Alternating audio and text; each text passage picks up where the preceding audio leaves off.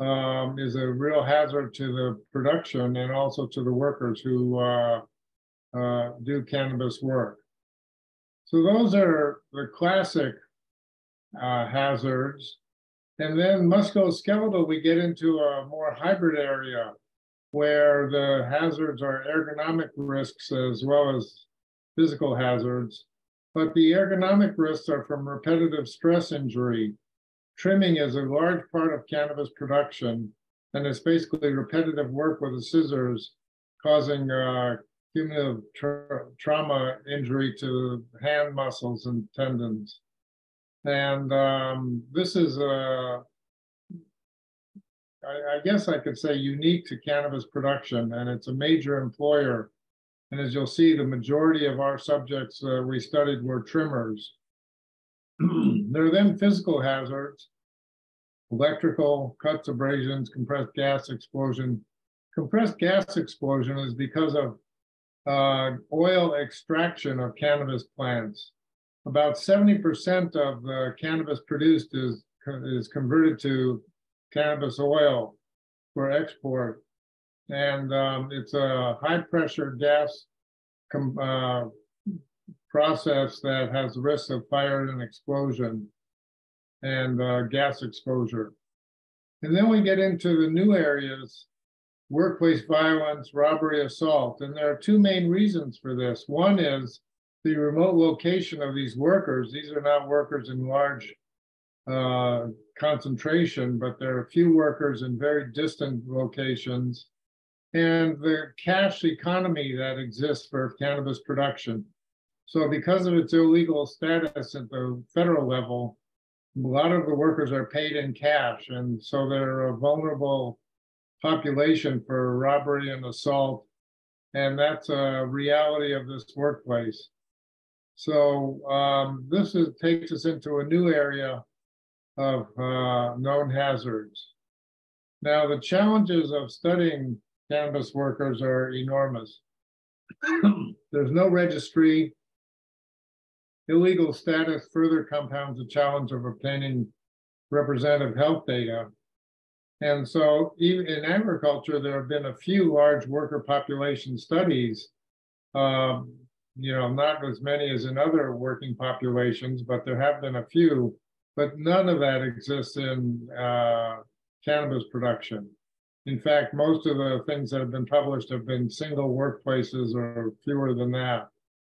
Um, and that makes it difficult to get, get quantitative data on the actual risk of workers.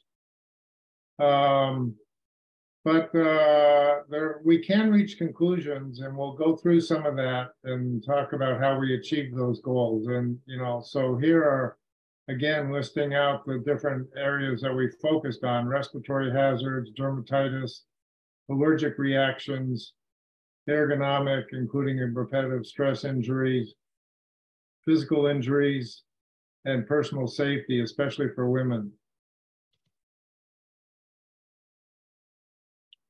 Now, trimmigrants is a colloquialism that's given to immigrants who come in to do trimming work. And uh, here we see a difference from classic agricultural workers. Um, these are often college educated students, young working professionals who come to earn money in large amounts from short time duration of working, uh, often on vacation or tourist visas and that's different from classic agriculture in that they're younger, they're more educated. Uh, there's a substantial percentage of US citizens who do this work, as well as immigrants. And, um, you know, the traditional immigrant farm worker is low educated, uh, low, po uh, high poverty level, and um, looks different from the trimmigrant uh, who's doing cannabis work. Now, where they're coming from, uh, mostly Latino, but increasingly Asian and European immigrants. As it got, became known, uh, this became a popular destination for immigrants to come and gain money over a short working season of three to five months. Um, now, interestingly, there's some preference for the foreign immigrant workers among the growers uh, because they have less distraction. They just want to work, whereas the U.S. citizens often have distraction and are not as reliable, according to the growers. Now, in this picture, you can see the casual nature of the trimming environment. I mean, you know, there are beach chairs and lawn chairs and, you know, uh, casual environment. Uh, it's not a organized workplace, and this may, this would be a large workforce, you know, six people or so. Many of them are fewer doing the trimming work. Next slide. And Stella, while you're making that switch, could could you um try switching it out of presenter mode, please? I'm so sorry. I did not know that it was in presenter mode for you guys. I really, really apologize. And I'm really sorry about that. Um, let's see. You'd think in, um, you know, 2023 at this point, we would I would have worked this one out, but oh, here we are. I'm glad you're driving. okay, let me give this one more try. I mean, I'll keep trying as long as I need to.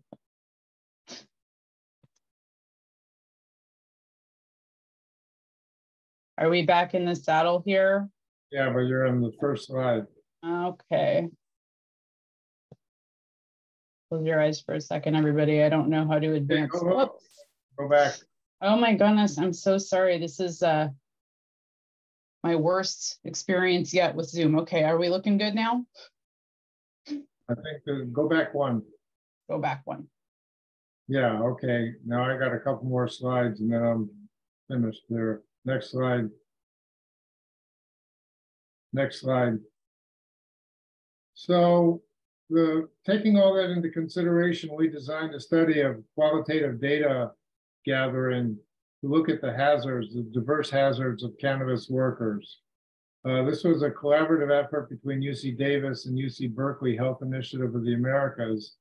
And it was funded by the California Department of Cannabis Control. And I should mention that it's one of the very few maybe the only occupational health uh, study that was funded by the Department of Cannabis Control. That's not their forte, and they didn't spend much effort in funding that. Next slide. So this was a study of focus group discussions and key informant interviews. we uh, conducted four focus groups of 32 workers total and nine key informant interviews of workers, owners, managers, and safety consultants. There was a semi-structured guide of health and safety topics that was went, gone through in both of these settings.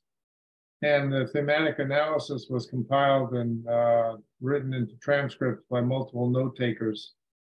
Um, next slide.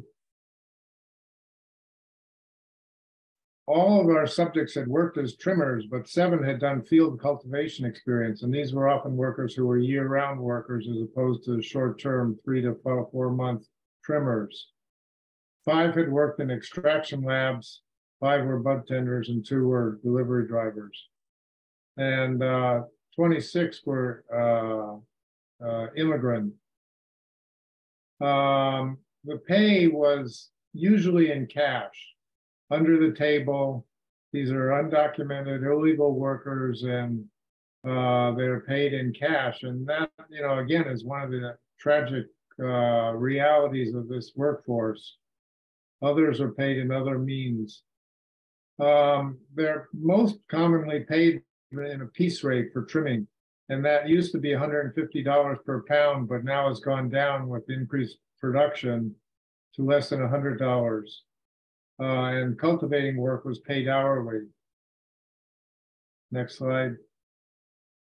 And this just gives you the demographics of our study population. It was split male and female. The majority were from Mexico, but notice uh, 20% were US citizens and 75% had some college education. So very different from the classic agricultural worker population. Uh, Latino or 60% or so, white, black, other made up the difference. Um, and uh, age, the mean or median was 33, relatively young again uh, compared to agricultural workers. And most had worked for less than a year, uh, the median being nine months. And I'm going to stop there and we're going to go into the results uh, with uh, Stella. All right. Hi. So I'm going to talk. The, we kind of divided the results from the study into three sort of domains. We had physiologic exposures and health effects, which I'm going to start with, and then Xochi will talk about structural violence and control of the, the workers, and then we'll shift back to an analysis we did of stress and uh, coping mechanisms. So for physiologic exposures, what our findings were were pretty consistent with the uh, sort of anticipated exposures and effects that Dr. Schenker was talking about. Our participants talked about being exposed to the cannabis plant, like dust and resin, mold. Uh, they talked a lot about trimming moldy weed, pesticides. A few of the participants had stories about applying pesticides with like not appropriate gear, and they were all also exposed to wildfire smoke. Um, they also had consistent health effects, things like respiratory symptoms, coughing, shortness of breath, rashes. We had one participant who had really severe eye irritation from contact with resin, which I guess is an occupational hazard. One of our participants said, I had an allergy on my face, arms, and body. I tried to cover my body, but it was not helpful. I'm not sure if it was from weed or fungus. After that, I have long-term allergies to weed that I didn't have before. So for musculoskeletal disorders, that was another main issue.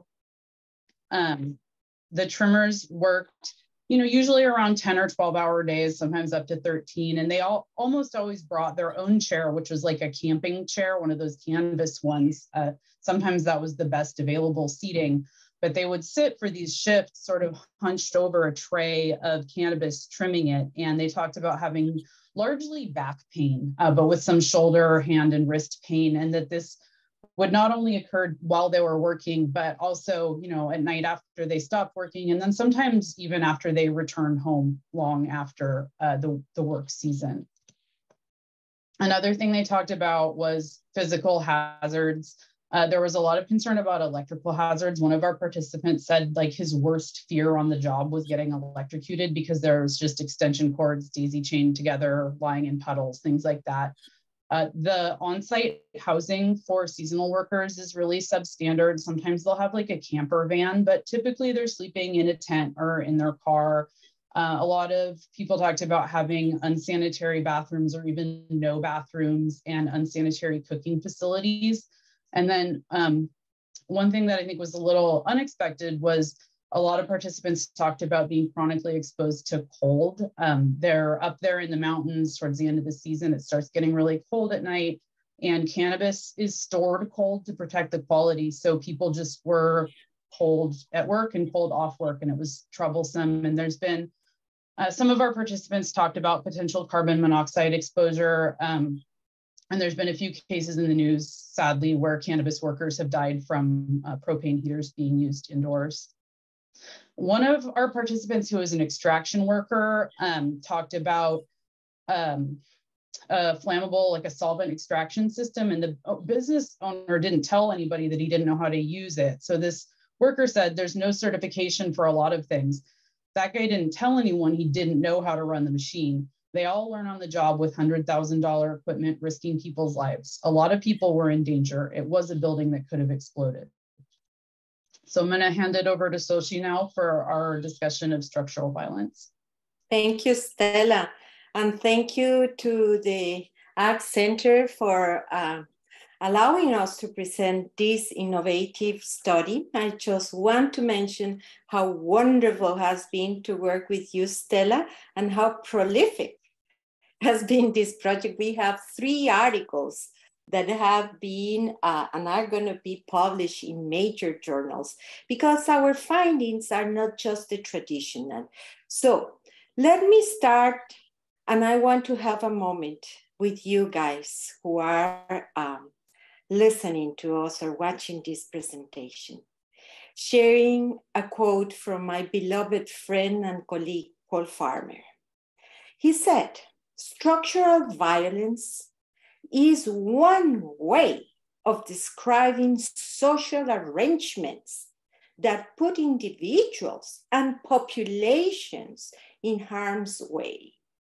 The arrangements are structural because they are embedded in the political and economic organization of our social world.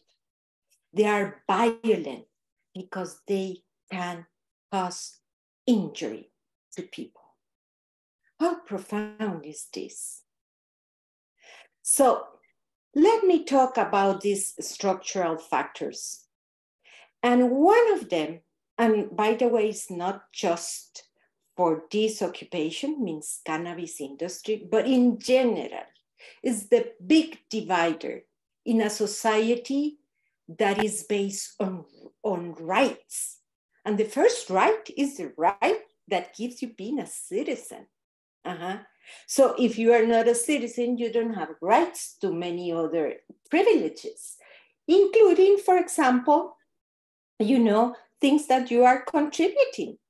Because many entering in this country as undocumented workers, but once they are hired, they don't ask your documentation status, but you have to pay the taxes that are subsidizing citizens. But that's another conversation.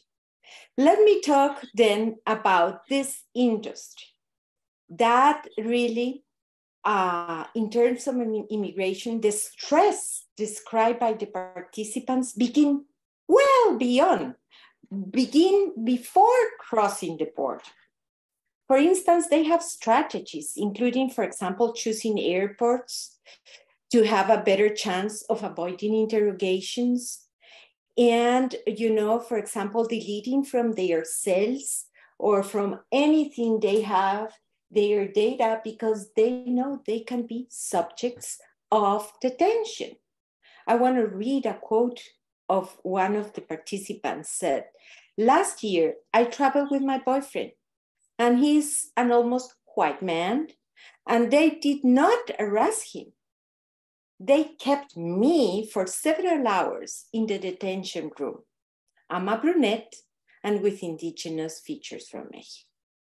So, you know, the fact that they experience um, employment situation where the bosses or owners are leveraging their workers' status, mean undocumented, to exploit them is very common in this industry the industry really also divide the people, you know, by race, especially in the rural areas, growth are usually done by white men. The owners are white men. Most of the participants had experienced a manager or an owner using racist language or paying white US or Europeans workers more they are like, you know, if you have as the color of the skin counts, since immigrant workers are racialized, even the participants who have self identified themselves as white experience this kind of discrimination as Latin American immigrants. One of the things is that undocumented workers have the same legal rights for safe at workplaces than other workers, including workers' compensations. But these rights, rights are de facto. They are not necessarily accessible due to the fears and punishment by employers or job loss, as well as exposure to law enforcement. So consistently with other agricultural products, hiring undocumented workers who accept lower pay and avoiding insurance and payroll taxes benefits licensed cannabis producers. Next, gender. Uh-huh. We talk these days about DEI, diversity, equity, inclusion. Mm-hmm. If we put a no on this, no diversity, the majority are undocumented not equity. and not inclusion, we will understand better this. All of the women participants talk about sexual harassment. Trimming has traditionally been the cannabis job held by women. A lot of people in the industry think that women are better trimmers, but it's also one of the least prestigious jobs. Sometimes they are called trim bitches. From our focus groups and other literature review and news reports that you might be aware of, trimming is considered a very hazardous in terms of being assaulted or experience harassment. And women work in at least pairs, if not with groups, for safety, or some travel with male partners to be protected. Some participants mentioned that there have been news reports or things like women being kidnapped, but, but in our study, that was not the case. I want to, to, to highlight this. Next, abuse of power. that is uh, really something that is the center of this Wild West industry. And I want to talk about two structural factors that have been aspects that are unique to the cannabis industry. The first one is the workplace power imbalance that is very common, especially in low wage work. And it's amplified, amplified here by the isolation and attitudes that are either kind of a holdover from outlaw growing or fostered by situations of illegal growing. Most of the participants talk about just generally abusive workplaces. They are experiencing this racism and discrimination from the bosses, and they are clearly not being valued as workers or as a human beings when they are even sleeping in tents or not even having access to showers, but they have to use hoses. And we are living in the Golden State. We are talking about California. Um, some, some, sometimes that's really notable, and it's uh, it's it's it's really, you know, enforce the enforcement with guns. I want to, to, if you go to the next, please, to this quote that says, you are at the disposition of a crazy person. On the top of a hill, remember, they live in places where there is like eight hours to arrive to their workplace, and they don't trust you. They have been a couple of, a couple of times that I have had a gun pointed to my head because the owner get paranoid and they think you are stealing. If they don't pay you, it's not like that you can get a bigger one and come back. Next. So that, that brings me to my last slide and is the criminalization of the industry. Another factor related specifically to the cannabis industry is that it still is illegal at the federal level. And in California, most cannabis is still produced on illegal roads or very great zones. We ask in the focus group what the most things that could, what, what could be the worst thing that could happen to you? And they answer the rates and not being paid. And these rates are not uncommon and they are terrifying for the workers. Remember, the majority are undocumented. There are these federal agencies like the DEA, as well as state agencies and local sheriffs and police that are really catching this you see in the news sometimes or hear from these agencies that there will be fingerprinting or photographs and release low-level workers and only the managers and owners are arrested. But these are still interactions with armed law enforcement and workers are constantly on the edge, but this um, this is, is, is, is, is part of the, of the business. Cannabis business still not generally legal, even though it's the number one industry in the agricultural field in California. And uh, don't generally have access, the people, for example, to go to the banks. And so there's a lot of cash going there.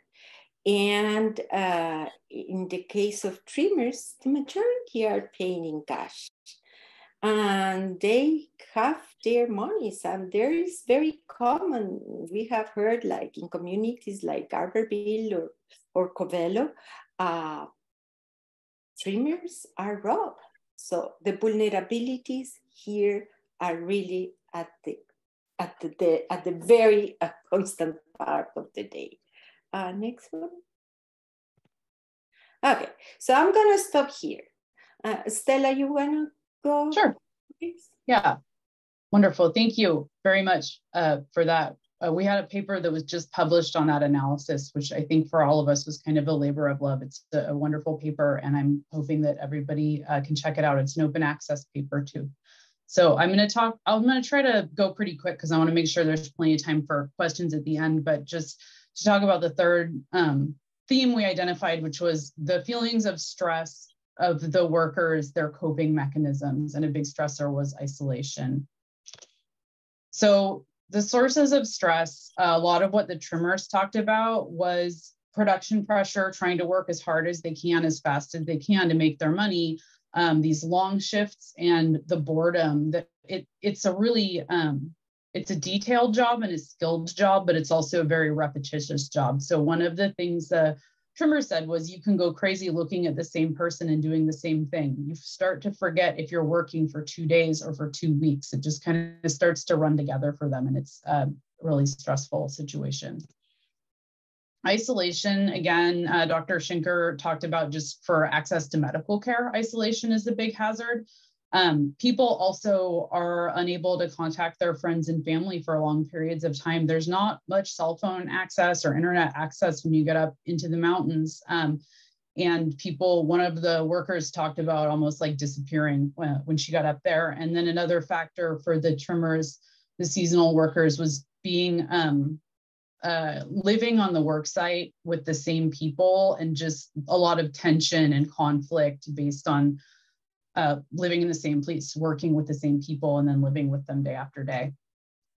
Some of the couple of the workers said that mental health problems were inevitable doing cannabis work, seasonal cannabis work, something like depression or anxiety are just gonna happen if you're a cannabis worker. They talk about feeling stressed out all the time. And another aspect is that the workers talk about um, owners, cannabis farm owners, becoming increasingly paranoid and angry throughout the, the cannabis season as time goes on. Um, they talked about some different coping mechanisms for stress. Uh, one of the main ones was just altering their work rate or taking breaks. I think all of the participants knew they should take breaks to rest physically and mentally.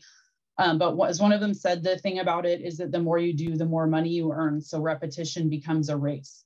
So um, they try to um, either sort of play games with themselves to keep going or um, just think about the money that they're making. And then some people talked about socializing. Others talked about actually wanting to be distant. One worker said, like, sort of one of the fringe benefits of COVID was that she was able to kind of sit further away from other people and be a little more isolated. So I want to preface by saying we really can't say from this study whether substance use was the main coping, coping mechanism um, or if it was just that something where people were concerned about. So maybe they talked about it a lot because it was something they were worried about. And we, I don't want this to be taken to say that substance use is a big problem among seasonal cannabis workers because it really could have just been something that we're the most concerned about um, as we said before, um, a lot of people come into the cannabis industry who are interested in cannabis or you know being involved in the culture. Some of them talked about using cannabis um, medicinally to relieve pain or to relax. Um, some trimmers, seasonal workers, none of our participants said that they personally used drugs, but they did say that consumption of some stimulants, uh, MDMA, were um, present among trimmers and also that white and European trimmers and farm owners were um, more likely to use drugs than the seasonal workers or the Latino workers. Um, so I think uh, I will give a couple sort of really big picture overviews of our conclusions and recommendations, and we can all um, maybe if Dr. Schenker and uh, Dr. Castañeda want to talk a little bit about those too. Um, and a big important point is that we just talked about a lot of bad things happening to cannabis workers and a lot of bad employers, but there are a lot of cannabis workers who do really care about worker health. There's workers or there's owners who take, you know, voluntary extra training to try to protect their workers' health. Um, licensed businesses are required to provide a 30 hour OSHA training course to one, um, one manager and one employee. Unfortunately, that's not super well enforced, but the trainings are out there. And there's also community organizations that are present and could grow to really help cannabis workers. Um, we did ask why they do this work. Why do they come back and do this sometimes season after season? And a lot of it is money. Um, people coming from Mexico or South America can live for the rest of the year in their home country on one season of trimming. They also enjoy the adventure, um, the beautiful scenery in Northern California, and some of them are uh, come to the work out of an interest in cannabis.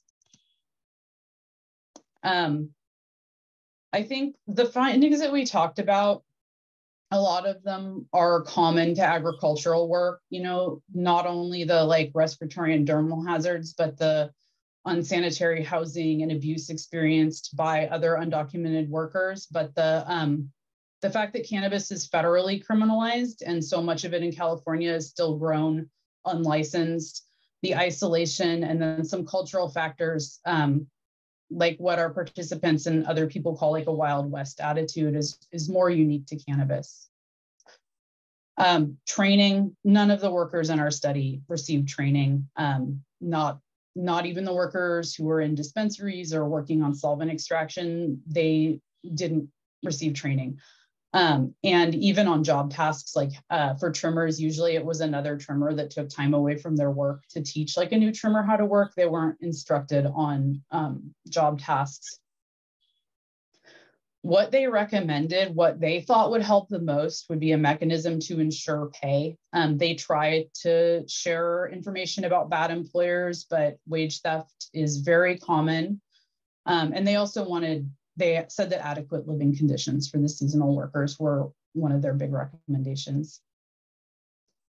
Um, so moving forward to advance cannabis worker health, one of the big things, you know, you saw nobody had received training is that um, training materials need to be available not through employers, and that would be great too, but through community organizations, social media, things that are targeted to different linguistic groups. Um, and made broadly available. Uh, legalization or decriminalization at the federal level is going to be a big step in the right direction, right? So businesses will have access to banking. The um, Cannabis Legalization Act that's currently sort of waiting to be acted on at the federal level does include research funding targeted for worker health and safety. And there'll be um, I mean, the problems will still be there for undocumented workers, but there'll be a lot more legal jobs in the cannabis industry. And um, this work needs to include all workers, uh, needs to include, you know, undocumented seasonal workers, um, not just people who work at uh, licensed cannabis businesses, you know, in the Bay Area. And this is our list of references, which will be in the webinar. Um, I know there's a lot to read here. I'm sure if you contacted any one of us, we'd be very happy to share these resources uh, with you, but this is um, what we have uh, available. And I will say thank you and um, hope we've left plenty of room for, for Q&A and also ask if um, the project PIs here have anything to add to, to what I've said about our recommendations and conclusions. Okay,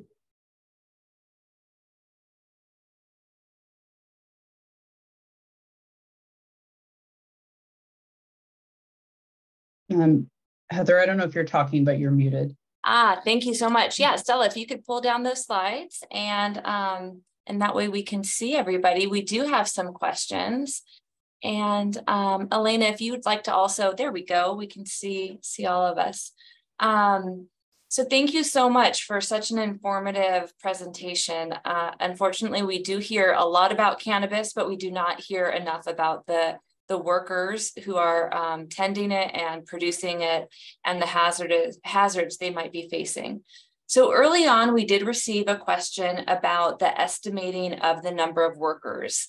Um, can you describe how you obtained that number of um, number of workers?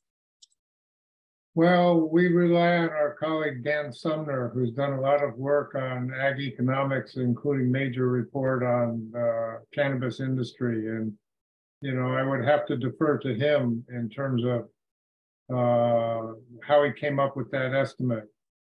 But, um, you know, the nature of the work really is pretty clear that the adequate counting doesn't go on. I mean, you know, a lot of these growth areas are trying to be invisible. And um, so that, that's all I can say in terms of that. I can't give the methodology. Thank you. And then um, both, I guess, in that estimate, but then also in your study, I, I missed if you specified whether or not the or the proportion of your sample was um, of legal operations versus non-legal operations. Did you did you go to both types of farms? Well, ours was a convenient sample, and um, we you know, often did it by hearsay in terms of getting uh, volunteers. And it was a mixture. The majority were undocumented workplaces or illegal workplaces, but there were some legal workplaces as well. And, um, you know, I must say also that there are hybrid locations.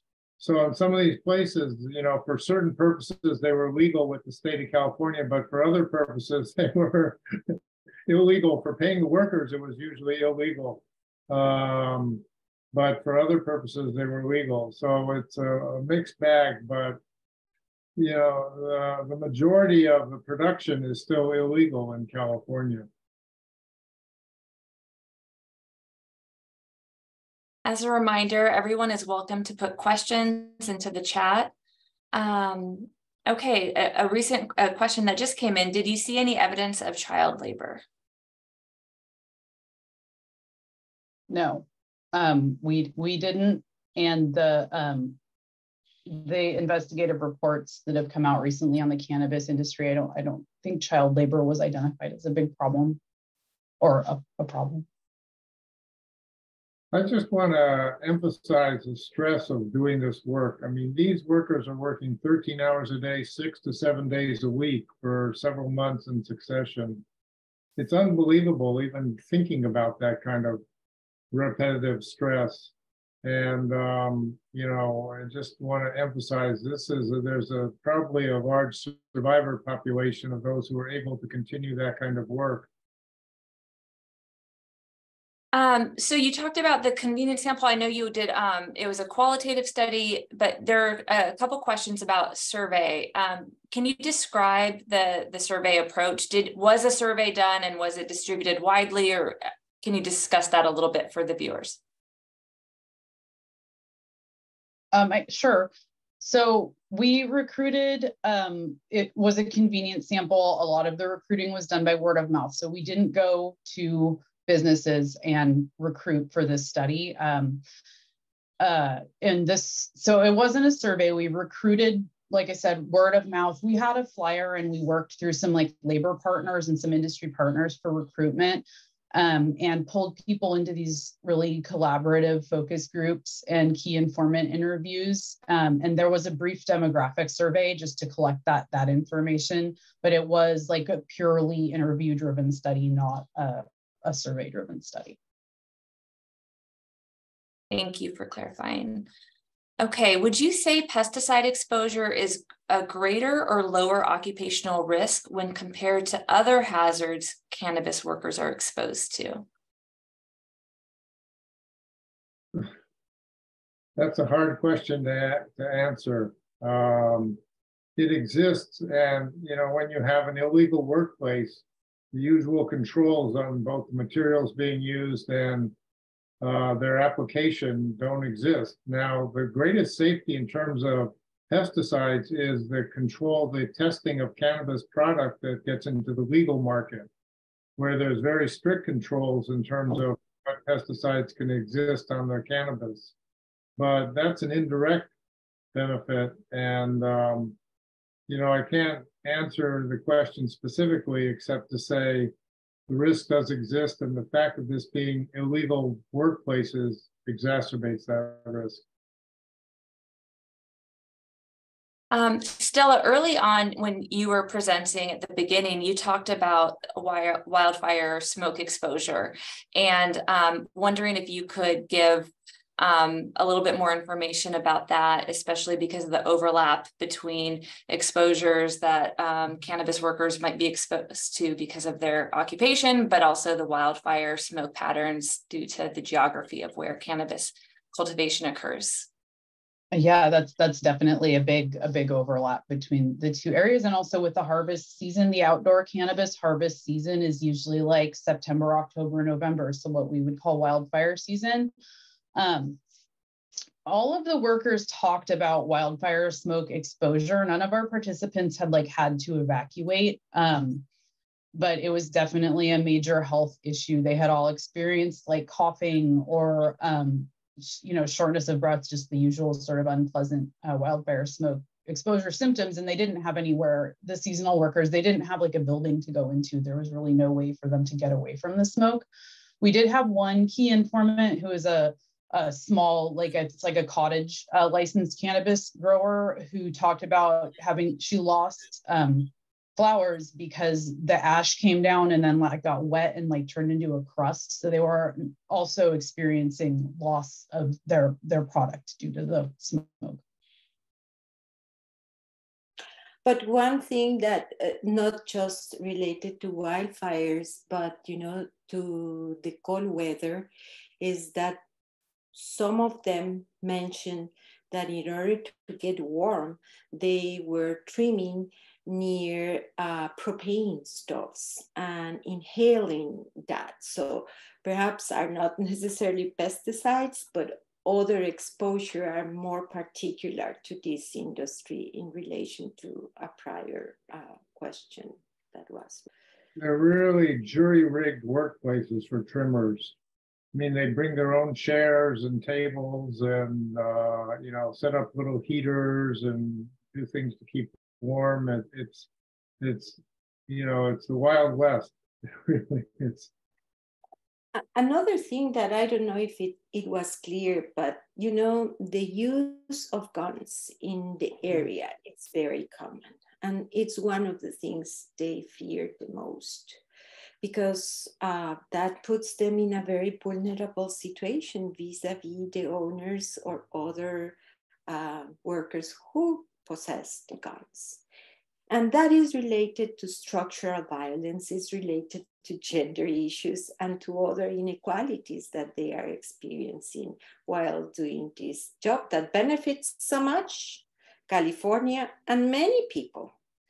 Uh, so more attention is needed to the health and safety of these workers. We need to rehumanize them and, uh, you know, the criminalization of the industry doesn't help. But these are workers that are living and working under very difficult circumstances. You know, living in a tent for a woman, you know, not being able to wash your hair or your yourself uh, very often. Uh, and I said a woman because I was thinking in the menstrual periods or other things we experience as women is not easy. So we need to rethink and make an effort for decriminalize the industry, but also to humanize the workers. Underpayment was really commonly reported. I'd say the majority of uh, participants reported being underpaid. And you know, it's tragic because there's nothing they can do. I mean, the employer basically says, "This is all I have, or this is all you're going to get," you know, and and that's the end of the discussion. And you know, the other thing is we have to face a reality of climate change. And these workers are more exposed to certain type of uh, situations than others in other agricultural industries where they have, well, housing, let's say, you know, when you live in the mountain, eight hours from, you know, quote unquote civilization. What if you have an accident there? There's no cell, there's no, there are not helicopters that will bring you there, you know? So vulnerabilities exist. And that's why we try to put out in our three articles, you know, that are common, but there are others that are more specific to this industry. Number one industry, very important industry in the agricultural field in California. So to to conclude, sort of in the in the last few minutes, I think that um, there's there's some a lot there's a lot happening in the comments that we're not going to be able to get to a lot related to potential collaborations with community organizations unions um, and so forth. A lot, there's a conversation related to um, larger organ um, employers who are running more established um, companies that have strong uh, safety plans and others like a, a traditional um, company would. Um, where do you see opportunities for future research to try to disentangle some of the nuances between um, you know more between the the legal the not legal the big the small operations and some of the it seems like there's a wide range of enterprises. Is do you have future research questions that you think should be explored? Um, where would you pursue this further? Well the overriding reality is that legalization would have numerous benefits it's still going to be a challenge and there's still difficulties because of the nature of the work and the workforce and its location and so on. But legalization would be the first thing that I would look to to changing the reality that exists. Um, you know, we can get more specific, but there would be numerous benefits from that. And uh, recognition by you know department of food and agriculture of this workplace and its size and magnitude and hazards um, you know would uh, hopefully be a benefit that would follow.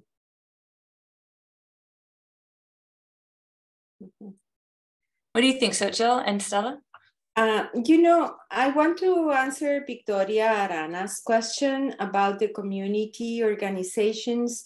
They have established their own community ways, for example, to know where there are abusive workers, where the, they have not been paid. That is very common in the, in the area. It's one of the big fears. So there are blogs among the workers that are working. Um, I, I hope the United uh, Farm Workers will uh, be, you know, working there to unionize some of these workers. The problem is their status. And a lot of, and we are talking about the trimmers, not necessarily the growers. The majority of them are undocumented. And as I said at the beginning, being undocumented limit your rights in this country and and and, and elevate your fears. so I want to say thank you to the Western Center for Agricultural uh, say, uh, Health and Safety and to my colleagues and for you, the participants. And pay more attention, be tuned and read our articles. Absolutely. Thank you for coming on today. We really appreciate it. This work is so important, and we are so thankful that you are leading the way in it. So, thank you all for joining us today. We will be on a summer break and we will be back in October with our next season of seminars. So, have a wonderful summer, and we will see you then. Bye. Thank you so much. Have a good afternoon. Thank you. Thank you. Bye.